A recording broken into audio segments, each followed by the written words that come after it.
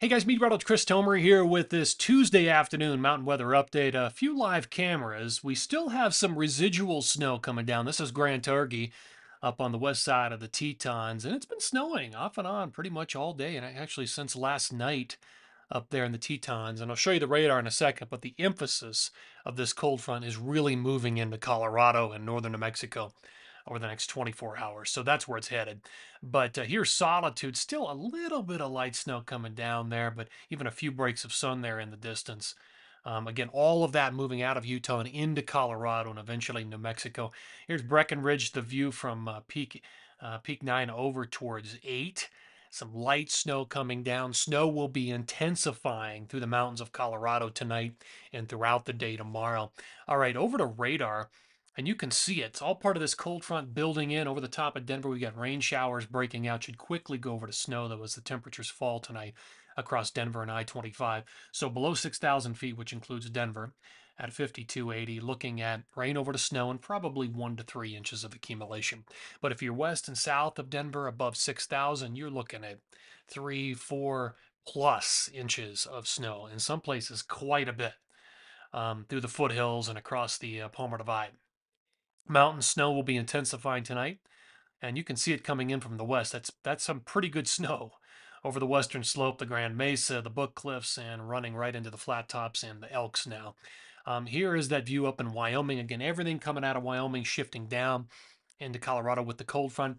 You can see the flow coming around Salt Lake and the Wasatch. So some residual snow showers, um, but by and large, the bulk of this thing now moving into Colorado. All right, here is the uh, the lay of the land. So on the water vapor, your moisture aloft is in your whites and your blues, and so there's our front right here.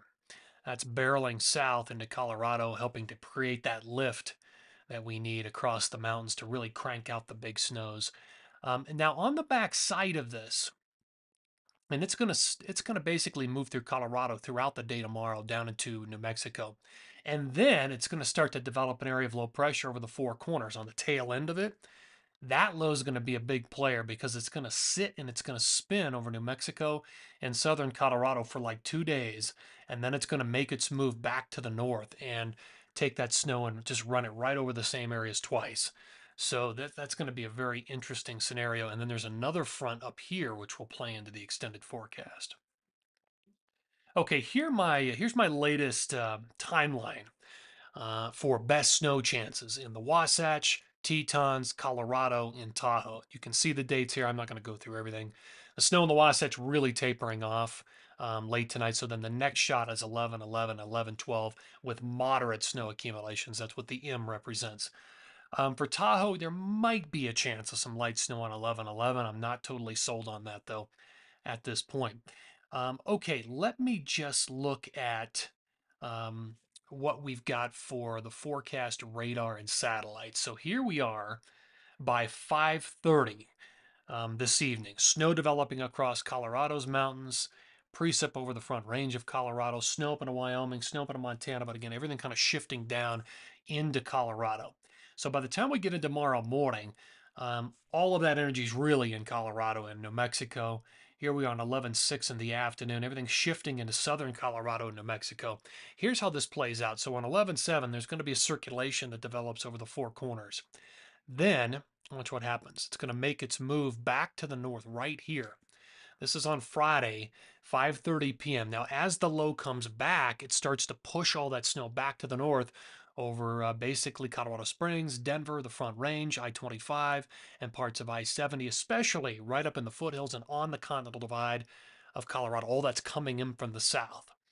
So here we are. That is Saturday morning. So it's likely you can see the flow and the rotation around the area of low pressure, what it does. Everything just sort of wraps around that area of low pressure.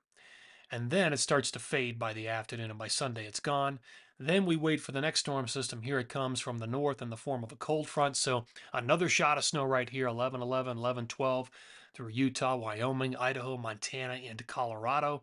Into uh, 11 13, it moves away. The next storm stays up into the, uh, the northern tier. All right, here are my latest numbers. So basically, tonight throughout the day tomorrow, Um, the best accumulations are going to be in Colorado and northern New Mexico. So, right on top of the Continental Divide in Colorado, A Basin, Loveland, Winter Park, Keystone, Breck, Summit County, four to eight inches of accumulation. Um, if you're over Vail Pass, four to eight inches of accumulation. Four to eight over the Elks, um, Aspen, Buttermilk, Snowmass, the Highlands. If you're in southern Colorado, you're going to get more. Um, probably 8 to 14 over the top of the San Juans and the Sangres, and 6 to 12 for parts of Taos, Ski Santa Fe, and um, all those areas down there.